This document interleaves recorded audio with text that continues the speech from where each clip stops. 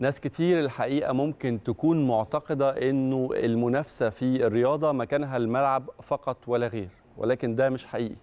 وللأسف الشديد جدا في أوقات كتيرة جدا بيلجأ المنافس ليك للضرب تحت الحزام.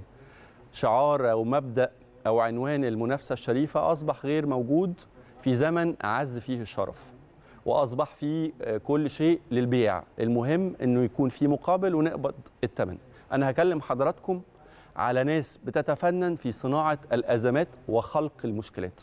لأنه الحقيقة فجأة بدون أي مقدمات وبعد أول خسارة للنادي الأهلي الموسم ده في الدوري العام أصوات كتيرة جدا خرجت بتتكلم عن أزمات ومشكلات داخل النادي الأهلي.